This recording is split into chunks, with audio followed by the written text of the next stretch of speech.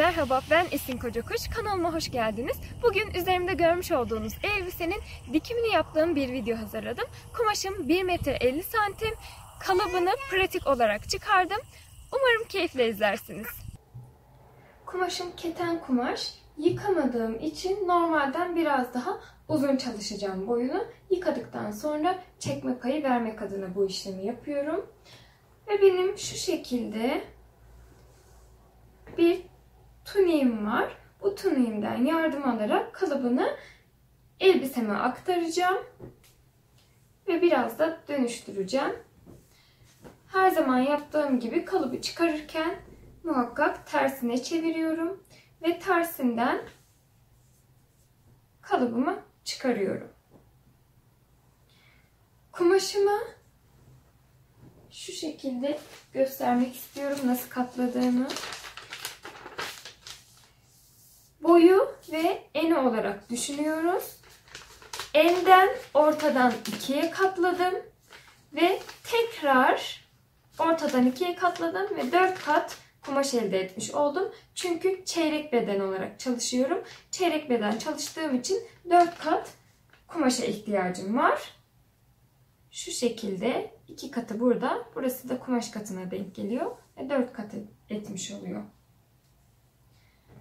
Tersine çevirdikten sonra tuniğimi çeyrek beden elde edecek şekilde ayarlıyorum.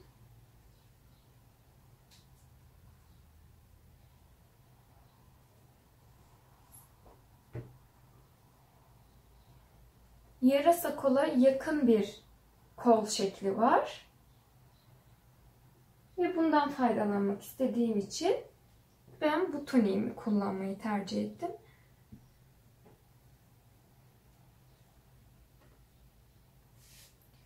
Tuniğimi de daha önce kendim dikmiştim. Şimdi kalıp olarak kullanıyorum. Şu kısmını kumaşa sıfır olacak şekilde ayarlıyorum. Ve kollarını da düzenliyorum. Tuniğimin genişliğini ölçü olarak almayacağım. Biraz daha geniş yapacağım. Yani kumaşımın neredeyse tamamını kullanmak istiyorum. Çünkü daha salaş, daha efil efil bir görüntüsü olsun istiyorum. Kumaşım da zaten çok kalın değil. Çok güzel bir şekil ortaya çıkmış olacak böylece. Bakın neredeyse hatta neredeyse demeyelim ölçelim. Direkt ne kadar genişlettiğimi söyleyeyim. 5 santim. Tuniğimden 5 santim fazla genişletiyorum ve ölçü kabul ederek buralarını böyle göz kararı çıkıyorum ama tabi yine 5 santim olacak şekilde ayarlıyorum. Ve böyle kol oyuntusu veriyorum bu kısmına. Buradan da yine bir miktar genişletiyorum. Çok dar olmasını istemiyorum. Dediğim gibi çok efil efil ferah bir görüntü versin istiyorum bana. Ve omuz kısımlarına geliyorum. Omuz kısımlarını tam dikiş kısımlarından düzenleyerek geçiyorum. Yakasını belirleyeceğim. Başlangıç ve bitişini belirliyorum. Benim cetvellerim var. Cetvellerimle tam düz bir yaka elde etmek istiyorum.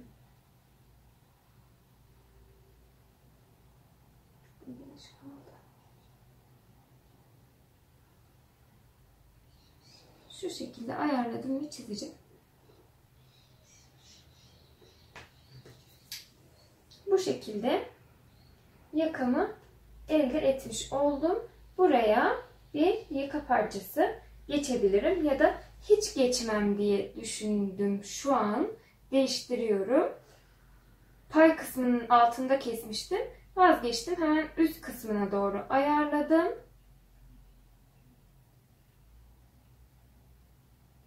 Ve orada bitirdim. Evet. Bu şekilde daha kapalı bir yaka yapacağım. Ve incecik kıvırarak ya da biye geçerek temizlerim. Kalıbımı kaldırıyorum. Bakın bu kadar basit. Sadece omuzunu ve kollarının genişliğini aldım. Şu kısımlarının genişliğini aldım ve elbisemin artık aşağı kısmını neredeyse düz şekilde inecek şekilde ayarlıyorum ve kumaşımın tamamını böylece kullanacağım. Sadece bel kısmına çok hafif kavis vermiş oldum. Şimdi kesmeye geçiyorum.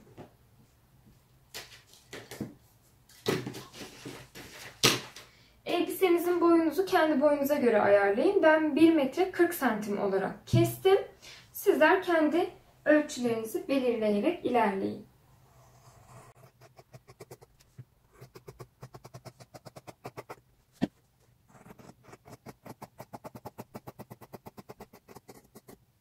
Kumaş o kadar az ki neredeyse tamamını kullanıyorum. Sadece çok hafif bir dediğim gibi bel oyuntusu verildi. Şu şekilde çekip etek ucuna doğru olan kısmını da göstereceğim. Bakın burası kumaşın kat yeri. Hiç bozmuyorum. Sadece kat yerinden açıyorum. Olduğu gibi genişliğini kullanmış oluyorum böylece.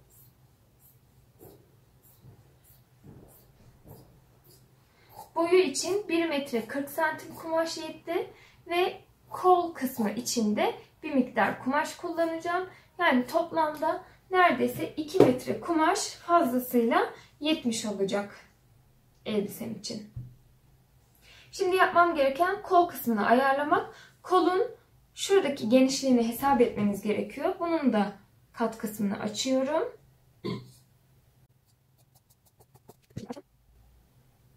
Şurada biraz hata var. İç kısımda kalmış. O yüzden o kısmı dengelemek adına burada kesim yapıyorum. Tekrar kontrol edeyim. Evet. Artık denk geliyor. Sorun yok. Tamamdır. Kumaşımı alıyorum.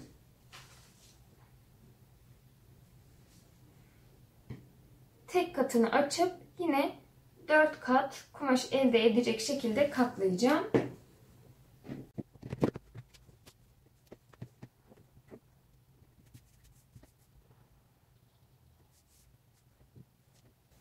Kolumun genişliğinin yarısını alıyorum ve buradan belirliyorum. Yani şuraya denk geliyor. Hemen işaretimi koyuyorum oradan.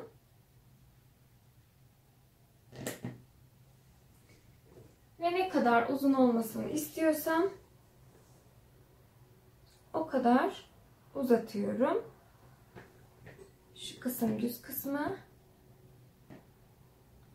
Aslında hiç kavis vermeden düz şekilde ineyim ki kolda da ferah bir çalışma olmuş olsun. Şimdi kol ve omuz genişliğini ölçerek devam edeceğim şu kol kısmı hemen ölçüyorum. Toplamda benim kol uzunluğum 55 santime denk geliyor omuz dışında. Bakıyorum nereye kadar devam ediyor. Evet. Kolu da düz şekilde kesip çıkardım.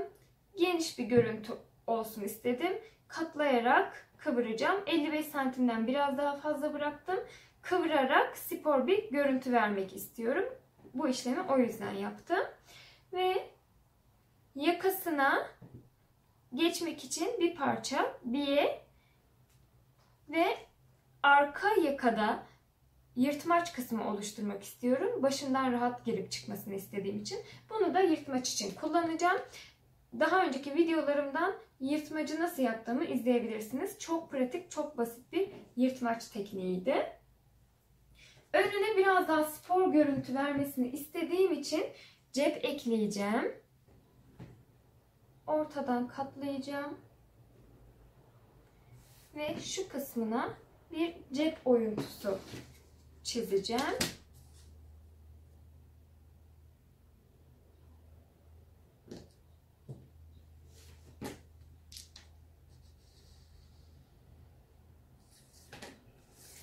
Şekilde ayarladım.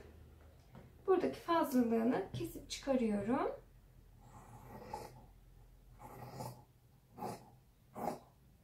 Hatta şu kısmı biraz daha şöyle geleyim. Cip gibi giriş elde etmiş oluyorum. Açtığım zaman görüntüsü bu şekilde olacak. Şöyle göstereyim. Kenarlarını kıvıracağım ve ön kısmına cebimi yerleştireceğim. Böyle temiz bir görüntü ve daha spor bir görüntü elde etmiş olacağım böylece. İlk olarak arka yakada oluşturduğum yırtmaç kısmını dikerek başlayacağım. Yırtmacı nasıl diktiğimi yukarıda çıkan linkten izleyebilirsiniz. Parçamın yırtmaç kısmını diktim ve kenarlarını tamamen overlock makinesiyle temizledim. Diğer parçalarımın hepsine de aynı işlemi uyguladım. Tamamen overlockla temizlenmiş oldu. Şimdiki işlemlerim ise düz makineyle birleştirmek olacak. Ön parçamdaki cep kısmını ilk olarak yerleştirmem gerekiyor. Yapmam gereken şu cep kısımlarını kendi içine doğru kıvırarak çift iğne şeklinde dikeceğim. Yani iki tane dikiş elde etmiş olacağım. Bunun sebebi normalde reçme ile yapılan işlemleri evimizde reçme bulamayacağımız için orijinaline en yakın nasıl yapabiliriz diye düşünürsek bu yöntemle en yakın halini yakalamış oluyoruz. Daha sonrasında şu kısımlarını kıvırarak üstünü ve yine alt kısmını kıvırarak bedenin üstüne yerleştireceğim ve dikeceğim. Böylece önde cebim olmuş olacak. Ceplerin ağız kısımlarını diktim şu şekilde ve iğneleyerek bedene yerleştirdim. Dikiş işlemini gerçekleştireceğim ve daha sonra ön beden ve arka bedenin omuz kısımlarından birbirine tutturacağım. Ön ve arka bedenimi yüzü yüzüne denk gelecek şekilde ayarlayıp yerleştiriyorum ve omuz kısımlarından tutturacağım. Omuz kısımlarını diktikten sonra kol kısımlarını birbirine birleştireceğim ve bütün bir görüntü elde etmiş olacağım böylece. Daha sonrasında kol ağzından girip koltuk altına ve koltuk altından bedenin yan kısımlarına doğru dikişimi tamamlayacağım. Son olarak da yaka kısmını zaten arka açıklık kısmını yırtmaç şeklinde ayarlamıştım. Biyesini de geçerek tamamlayacağım. Böylece elbisem giyinmeye hazır olmuş olacak. Ön ve arka bedeni birleştirip yan kısımları kapattıktan sonraki görüntüsü bu şekilde ve yakasına biye geçerek temiz bir dikiş elde etmiş oldum. Kol ağızlarını ve etek ucu kısmını da çift kat katlayarak dikişimi tamamladım.